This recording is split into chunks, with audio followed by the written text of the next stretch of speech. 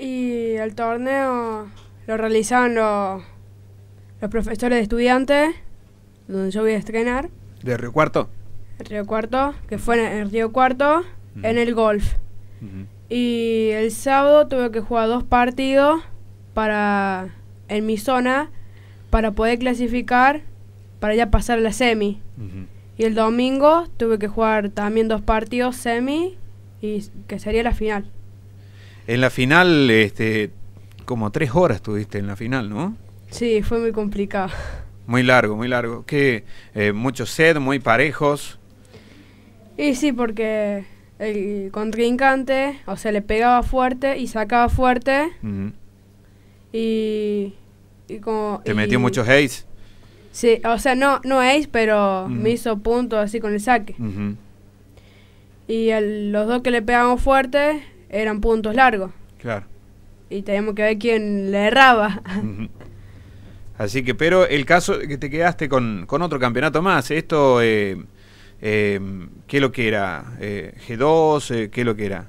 No, no, era un torneo así por un ranking que lo hacían los... de la zona de Río Cuarto vendría a ser. Sí, que juegan algunos del golf y de estudiantes.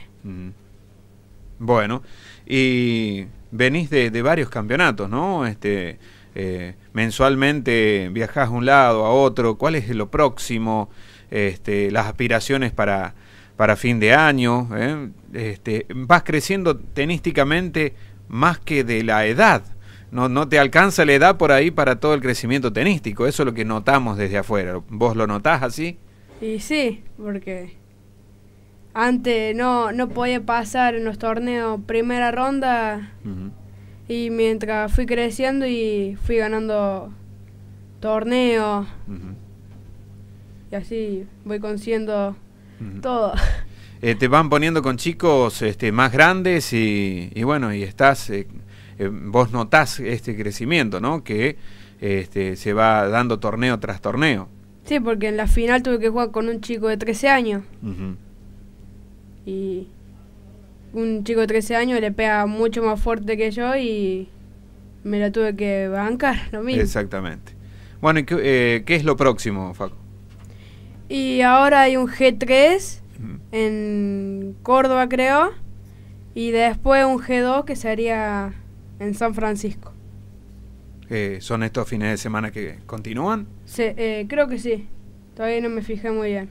Y los papis tienen que bancarlo.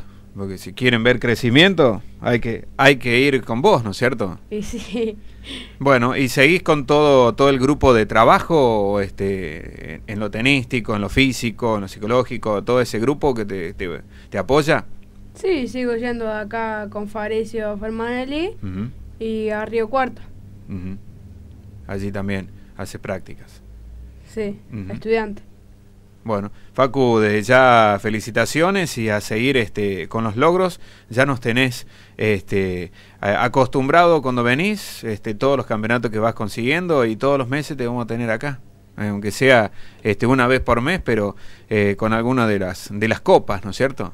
Sí, Bueno, gracias, felicitaciones. gracias.